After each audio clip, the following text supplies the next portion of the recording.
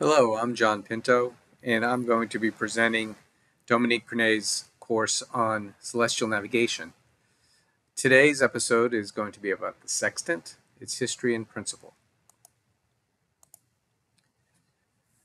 This presentation follows Dominique's book, Celestial Navigation, uh, which you can find more information about at marinenavigationbooks.com.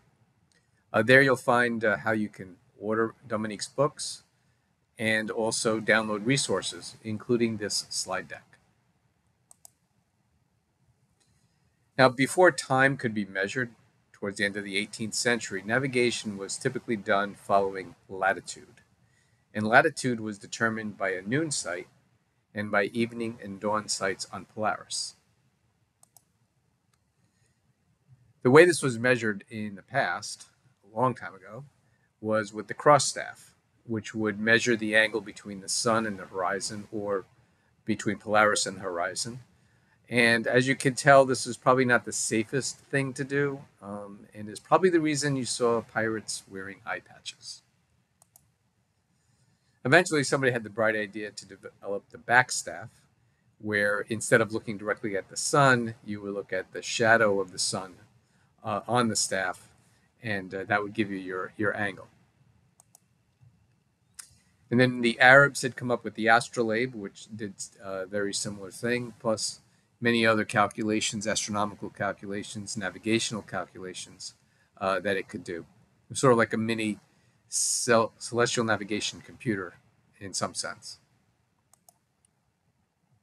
And then the octant was invented, um, which allows you to measure uh, angles up to 90 degrees, uh, which for many uh, uh applications is sufficient.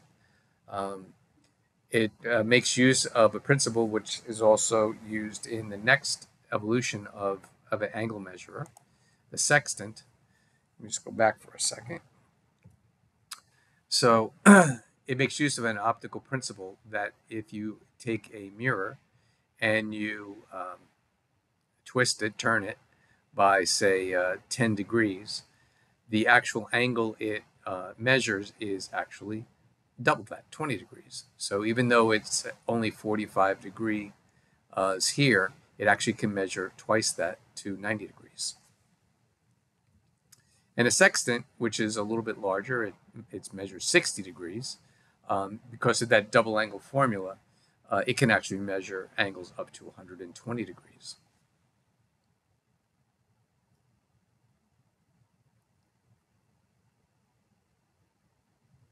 Now, just basic principle is you're looking at some celestial body. Uh, its reflection bounces off what's called the index mirror here. And that transfers the image to what's called the horizon mirror, which then takes that reflection and puts it through the telescope into your eye. Now, at the same time, you're also looking at the horizon so that you can put the two images uh, right next to each other. And uh, here that's all laid out for you, the index mirror, the horizon mirror, and your eye in the telescope.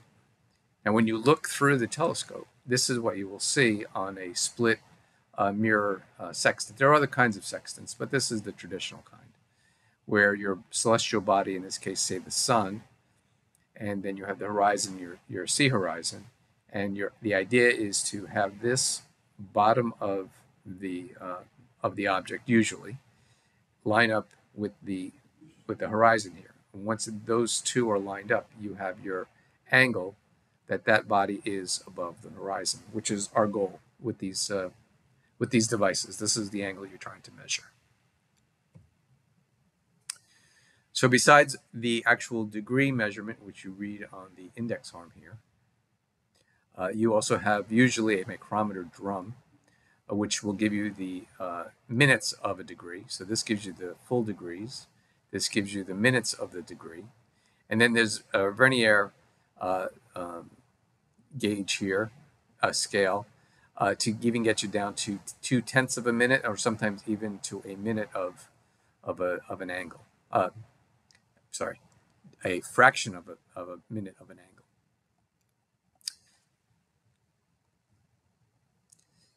And that's it for this episode. This is a quick episode just to introduce you to the sextant. Uh, next episode, we're going to talk about some of the uh, adjustments you have to make to your sextant readings uh, so that they can be compared to the um, calculated uh, heights of the of the objects that you're trying to observe. Thank you very much, and we will see you soon.